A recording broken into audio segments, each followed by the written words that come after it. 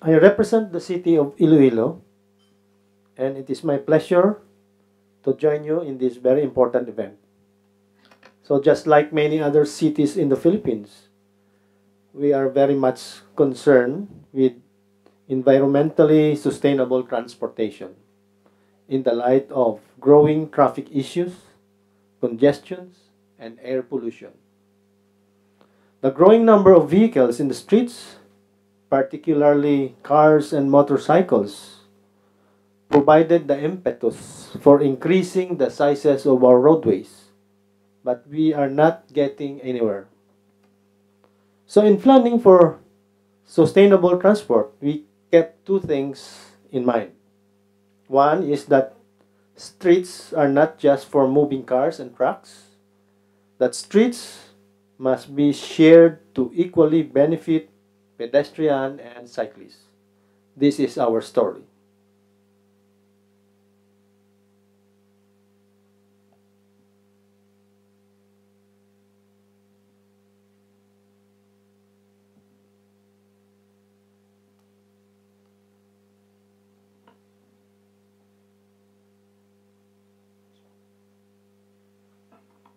Okay.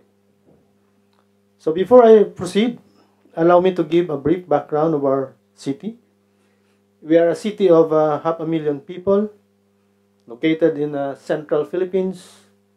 We have a robust economy and we have more than 62,000 registered vehicles and 132 kilometers of roads.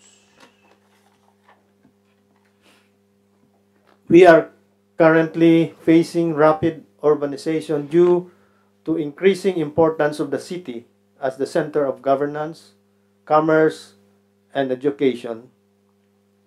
Transportation is demand greater than ever.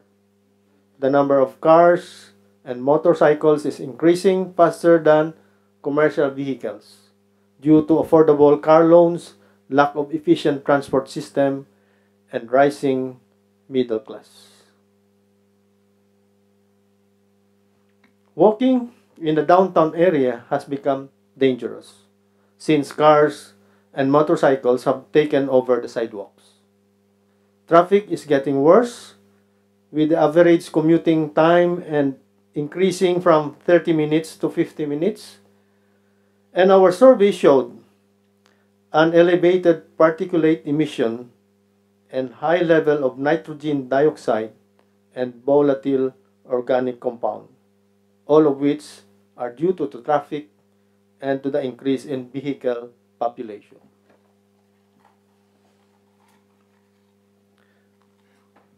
We are a city provided with many walkable spaces. As a former Spanish colony, our town planners then adopted the law of Indies which required the building of streets around a central area called Plaza Mayor. During the Spanish era, Plaza serves as a place for social gathering. Streets converge in this area. It is a place where people are drawn to it. It is therefore very easy to imagine that Plaza provides the connectivity, makes people pass it. During the American era, however, of which the Philippines became a commonwealth, the use of streets around the plaza changed with the introduction of automobile. Majority of the roads was used by motor vehicles with leftover space for pedestrian. Today, our urban space is exemplified by the design provided to us by the law of Indies. That is, the streets are still built in grid around a central area. Today also the roads has been widened but remain unsafe for pedestrians.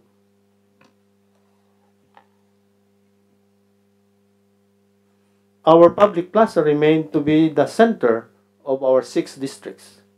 This map will show you how district plaza are distributed all over the city. Please bear with me as I walk you through the different plazas in the next succeeding slides. That's uh, Arevalo Plaza, Molo Plaza, another plaza,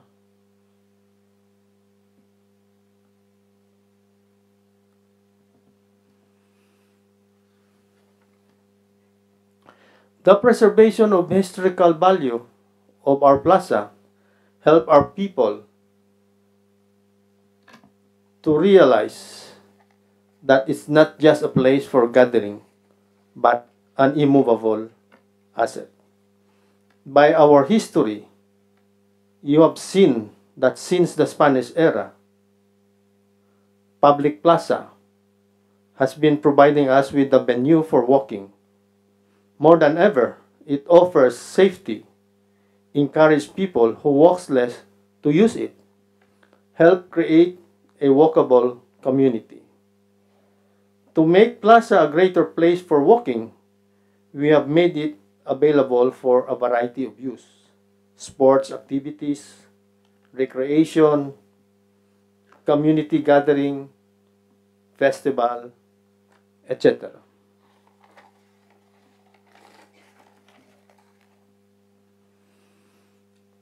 The preservation of plaza helped build ownership and gave them gave our stakeholders a feeling of intimate relationship with the place. For this, we have passed ordinance number 54. This declared that all the six public plazas as heritage site. Congress followed afterwards, passed House Bill number 054 5495. The bill helped us secure funds for the rehabilitation of our three plazas.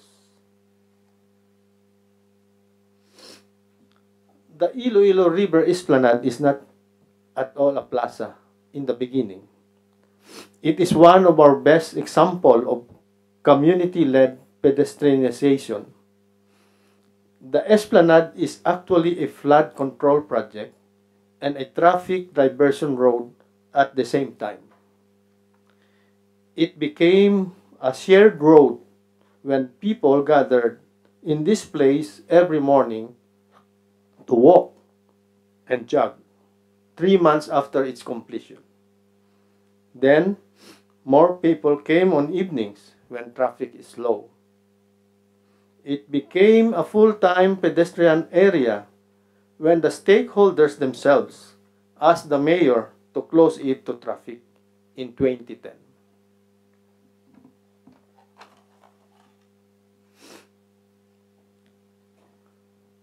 Redevelopment of the esplanade from a pedestrian area to a linear park came about in 2011. This happened when the stakeholders again asked the national government to convert the area into a unique place so that more people can be drawn to it and want to use it. Today, the Iloilo River, River Esplanade is a popular venue with its landscape features view deck in berthing area. In 2012, it was estimated that around 600 people converged in the Esplanade daily to walk, jog, or exercise.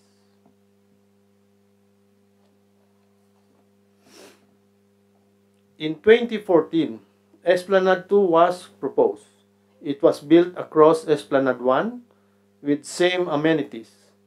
Now, Esplanade 1 and 2 is connected by a heritage bridge. The Carpenter's Bridge was due for demolition in 2010, but stakeholders led by heritage conservationists objected to it. The demolition never started. The stakeholders went on to look for funds and was able to restore it. Today, it is a heritage park. It connects Esplanade 1 and 2 and was responsible for enhancing walkability in this area. Impacts The number of arrivals in Esplanade 1 and 2 is now estimated at 800 daily. and reaches to more than 1,200 on weekends. The restoration of Carpent- Carpenter's Bridge became another example of a citizen led project. Lessons learned helped pave the way for the pedestrianization of Calle Real, my next topic. Overall, the Iloilo River Esplanade and the Carpenter's Bridge project helped stimulate tourism development, helped promote investment with the establishment of three business parks in the vicinity, supported walking and healthy lifestyle, fostered the conservation of Iloilo River, and provided the stimulus for development of the river. So this is just a map showing Esplanade 1 and 2 and how it is connected by Carpenter's Bridge. Now let me walk you through very quickly on the next slides on the different activities that is happening in Esplanade 1 and 2. Okay, a walk and clean activity, a canoe race, marching, um, a senior citizen led the exercise, even reflect, reflexology, um, advocacy campaign.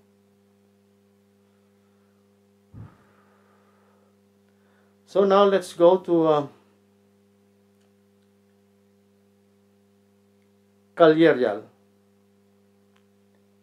This is a road, a shared road project in the city's busiest street, the Calle Real. Calyarial is the historic center of the city. It is our commercial district, with most of the building built during the American colonial era. In 2014, it was declared a heritage zone by the National Historical Institute. Here you will find 15 heritage buildings restored through public-private partnerships. The Calle Real pedestrianization project was a 90-day experiment designed to promote walkability, tourism without hampering business activities of the place. It is also a shared road project since vehicles were asked to refrain from entering Calle Real on weekends. So this is a diagram of the walk in Calle Real. So the, the, the program ran from December 14, 2013 to February 2014. Some groups promoted night tours of Calle Real during the event. So let me walk you through again to the activities that uh, were in, career, in the pedestrianization project. So night strolling, cultural dance, lion dance, promoting healthy lifestyle, food festival,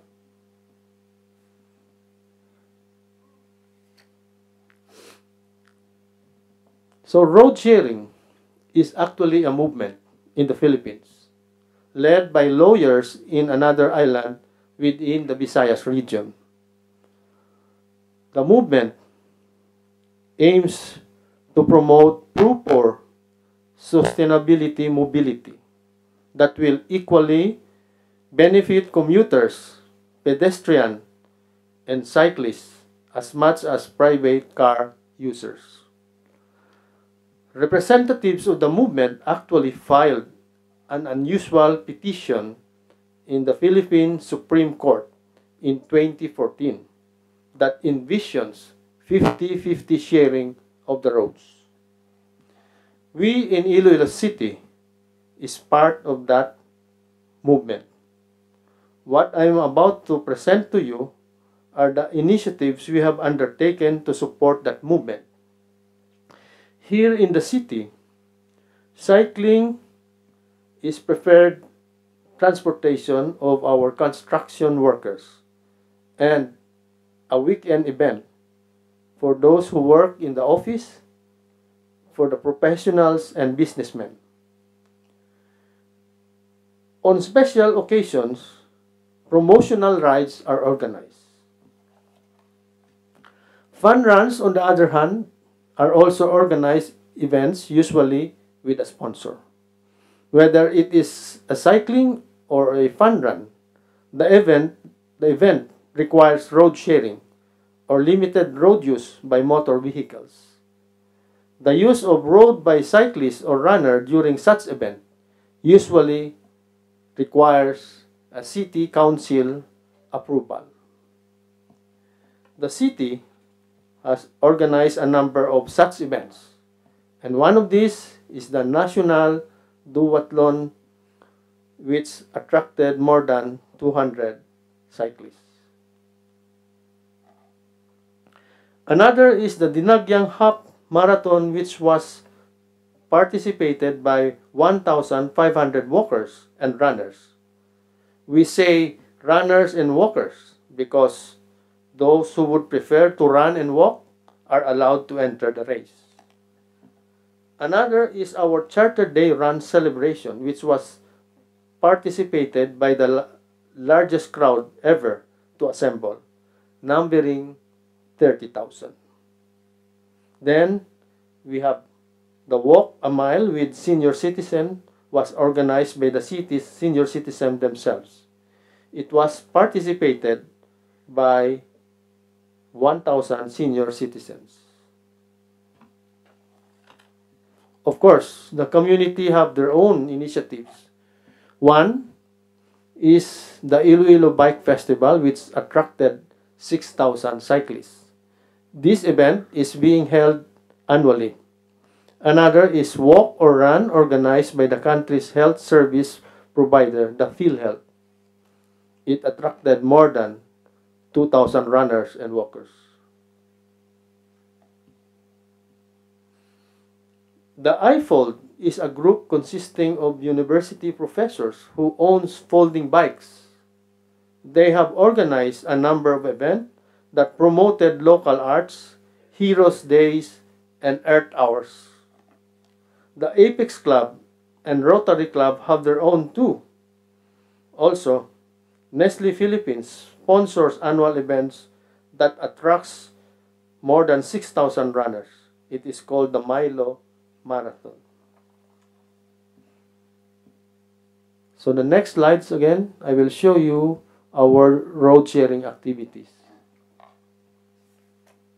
This is a pedestrian lane in a bike lane, newly constructed. A walking and running event in on major streets, a cycling event.